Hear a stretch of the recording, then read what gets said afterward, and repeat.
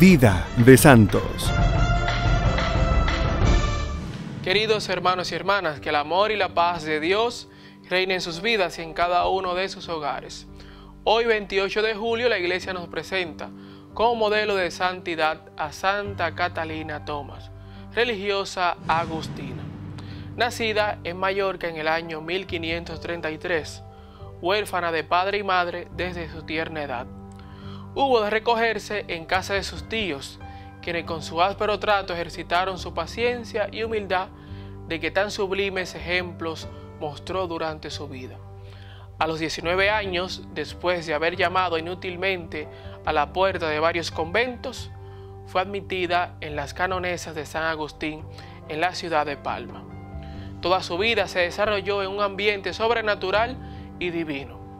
A pesar de su carencia de letras y de su humilde estado de hermana lega, los personajes más célebres de su tiempo la consultaban como oráculo divino. La santidad de esta santa vivida con impresionante sencillez, con una rotunda eficacia. Una santidad hecha de la elevación de la virtud al grado heroico y al mismo tiempo una santidad popular. En el alma de Mallorca sigue sintiendo el amor de tan grande santa, pastora y monja. Murió en el año 1572 y su cuerpo virginal se halla aún incorrupto. Queridos hermanos y hermanas, pidamos al Señor que nos conceda la gracia de vivir con sencillez de corazón a ejemplo de Santa Catalina Tomás y que seamos capaces de entregar nuestras vidas fielmente a su servicio en la iglesia. Y no olvides que tú también estás llamado a la santidad.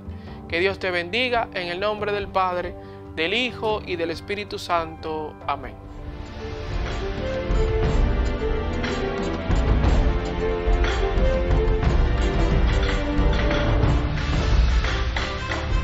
Vida de Santos.